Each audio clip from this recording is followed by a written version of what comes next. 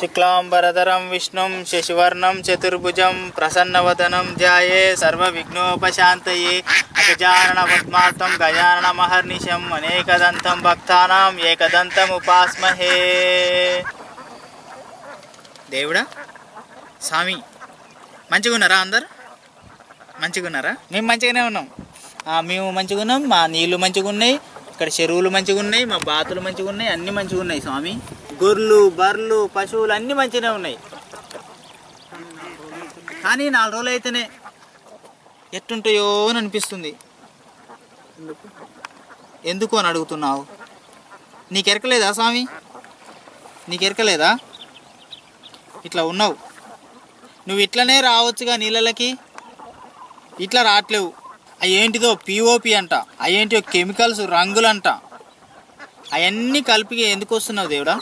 అవన్నీ నీళ్ళలో కలిస్తే మా పశువులకి మా జంతువులకి ఆ నీళ్ళు తాగితే ఏమవుతుందంట నీ ప్రతిమని వాటితోటి తయారు చేస్తేనే వరాలు ఇస్తావా? మట్టితోటి తయారు చేస్తే వరాలు ఇయ్యవా? అవును దేవుడా.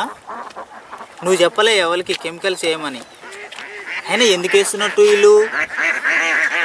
ఏం బాబాయ్? ఏరా ఇలా కూకున్నావు దేవునితో? మాట్లాడుతున్నా. మాట్లాడుతాను ఏం పర్యావరణం అంతా కాలుష్యం అవుతుందని దేవునితో మాట్లాడుతున్నా. ఇటు వచ్చింది మంచిగా ఉంది కానీ ఆడ గణపతిని పెడుతురు మనోళ్ళు చందా వేసిర్రు. మనమేంది? మన రేంజ్ ఏంది? గిడ కూకొని గిడేంది? అందులోకి రాను నేను. ఎందుకు?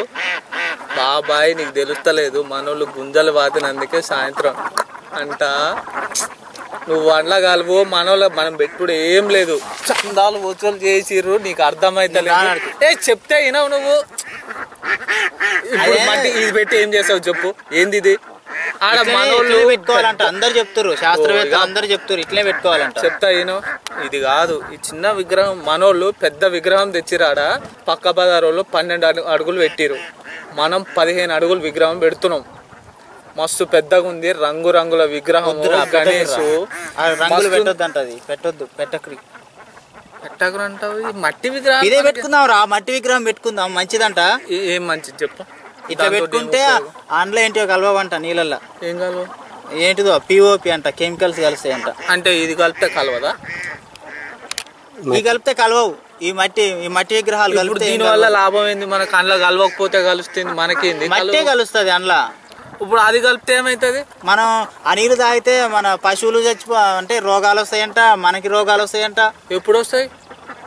తర్వాత వస్తాయి. ఓ వచ్చినప్పుడు చూసుకుందాం బట్రా దాంట్లో నువ్వు ఉంటావా నేను ఉంటావా? తెల్లాడితే నువ్వు ఉంటావో నేను ఉంటానో తెలియదు ఎప్పటికోసం నువ్వు ఇప్పుడు ఆలోచిస్తావు? తెల్లాడితే మనమేంది? మన బజార్ రేంజ్ ఏంది? మనం ఉండకపోతే ఏందిరా? తర్వాత వాళ్ళు మంచిగా ఉండొద్దా? వాళ్ళు ఉన్నప్పుడు చూద్దాం తీ.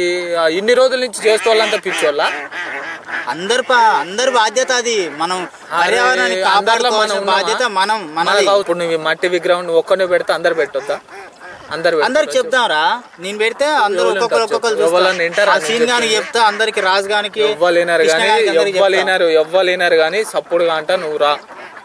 పొద్దుగాల పోదాం. సాయంత్రం ఉంది. సాయంత్రం మానవులు తెస్తారు. అనిపిద్దా? డీజేలు బరాతులు అవి కూడా పెట్టొద్దంట డీజిల్ పెట్టొద్దంట.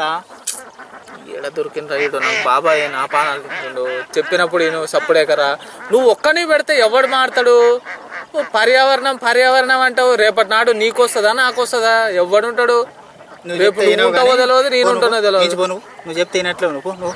ఏ నేను. విగ్రహం వస్తావా రావా చెప్పు. నేను రాను. ఎవరు రాకు. దాంతో పోతున్నా. వస్తే రా. సాయంత్రం లేకపోతే లేదు. నీ ఇష్టం. నేను రాను పోరా పో ఎవడు రమ్మంటుంది నిన్ను, పో.